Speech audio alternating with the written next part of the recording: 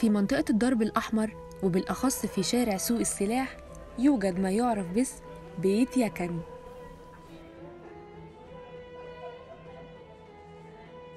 بني بيت يكن في 1940 وسمي بهذا الاسم نسبة لأولاد أخت محمد علي باشا. كلمة يجن باللغة التركية بيزيكلي هي عبارة عن ابن الأخت. ومن هنا جت فكرة بقى إن إحنا نسمي البيت ده بيت يجن لأن البيت ده كان جزء من بيوت كتيرة موجودة أوهبهم محمد علي باشا لولاد أخته لما رجعوا من السعودية بعد حرب طويلة في مع الوهابيين.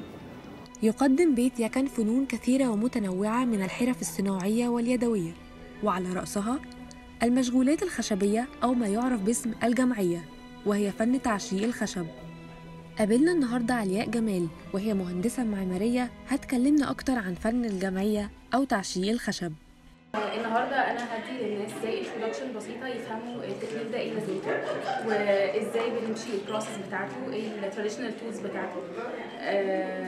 وأنا عملت sample من ضريح بتاع الشافعي فقدامهم ال panel متجمعة وهي المفروض يقدروا يشوفوا التعشيقات إزاي بتتعمل. آه، وهي بعديها لو أي حد got interested إن شاء الله في بيت نقدر نعلم إذا كان حد حرفي نجار أو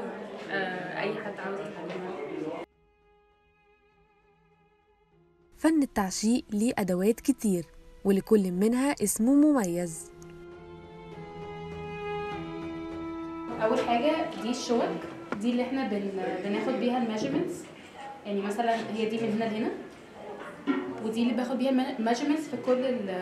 في كل ال pattern بتاعي. فبيبقى فيه كل شكل بيبقى فيه حوالي مثلا خمسة ستة من المقاسات اللي بتتكرر. وبعديها دي اللي هي الزوايا دي اللي أنا باخد بعديها بعد ما باخد ال measurements بعمل بيها ال angles وبروح معلمة. بعديها عندنا اللي هي دي دي اللي هي السحقه عشان هي التقطيعات دي بتبقى كلها يدوي عشان خاطر تبقى رفيعة. فبعد ما بقطع بالسحقه بستخدم الأزميل عشان خاطر أشيل اللي هي القطع الزيادة.